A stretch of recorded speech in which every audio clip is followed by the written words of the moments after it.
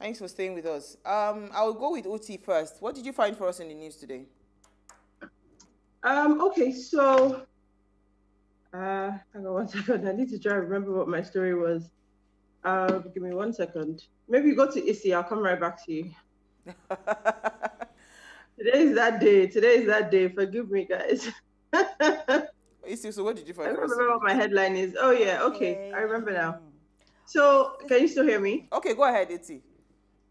So my headline reads NDLEA seizes illicit drugs worth 60 billion in two months. Now this was um, uh, this was a comment or declaration made by the retired Brigadier General um, Buba. And the interesting thing for me about this story really was the fact that where where as we know, most of the crime in this country, a lot of the times with the robberies and things like that, you hear that the users were high on some drug or the other. And the fact that he is now saying that if we can prevent people from using drugs, that we would be able to cut criminality um, within the country by 50%. Now, for me, the, the, the, the main thing that caught my attention with this um, headline is the fact that we've always had a drug problem, right? We've never ever addressed holistically how these drugs are getting into the country and what is happening. But it's getting worse. Remember back in the day, it used to be um, Ogogoro and Shekpe and all these different things. Now we've moved on, we've banned codeine after that whole BBC um, expose.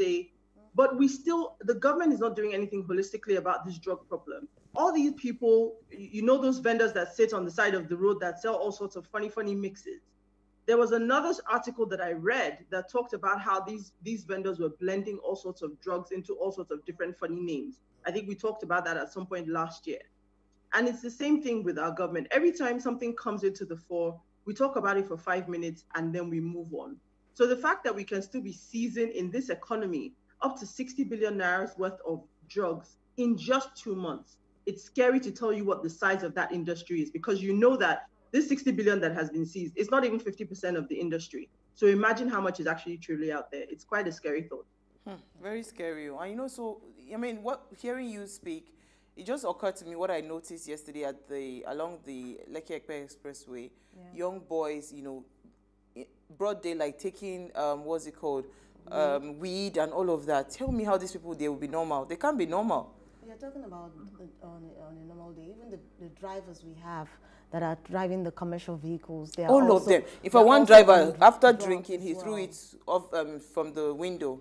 I think they had a, um, um, uh, what's it called? Um, uh, some sort of um, um, evaluation carried out on the drivers recently or some years back, and they discovered that 60% of, or what am I saying? About 80% of the drivers on the road were all high on one substance or the other. Or the other. So it's, it's something that we should look into.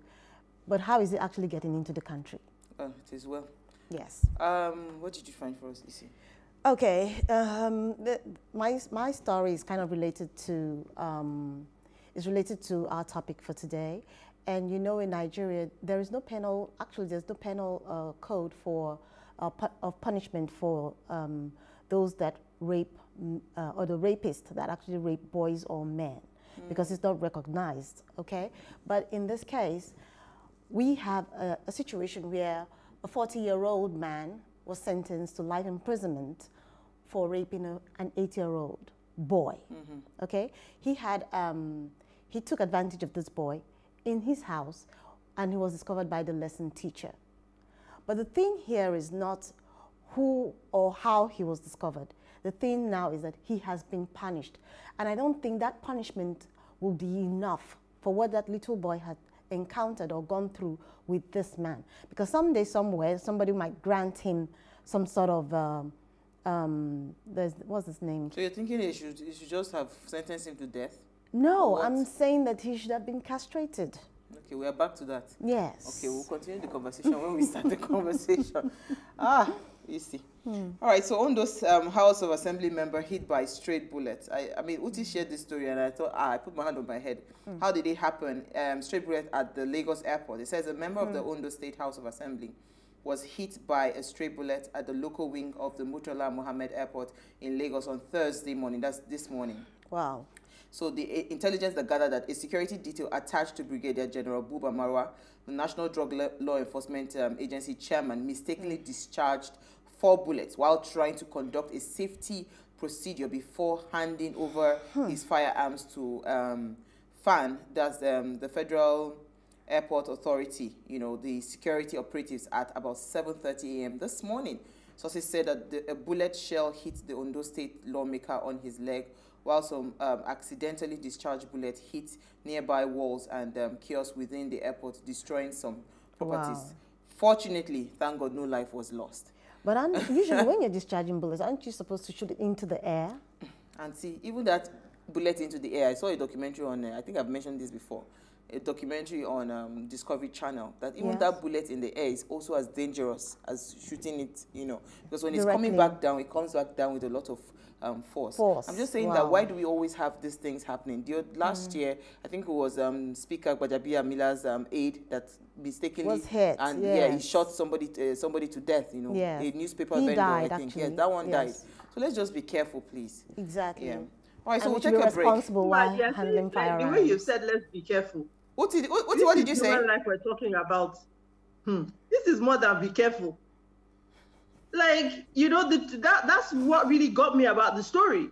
Like let's just you know, whilst he was carrying out safety procedures. I mean, first of all, why do you have to have a loaded weapon?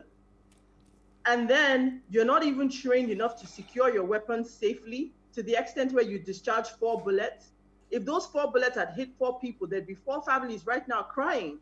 So we can say thank you, thank God that you know no lives were lost. But it just goes to show the ridiculousness of what we do in this country. That somebody, and that's probably an automatic rifle. It's not a pistol. Yeah. And you four bullets in an Four. airport, you could have just erased somebody's life like that. I mean, thank God nobody was killed, but it just exactly. let's, just thank God. That's all we can say. Exactly. All right, so we'll take a break. When we return, we're going to be mm. talking about rape, the justification, and the punishment. Stay with us. We'll be right back.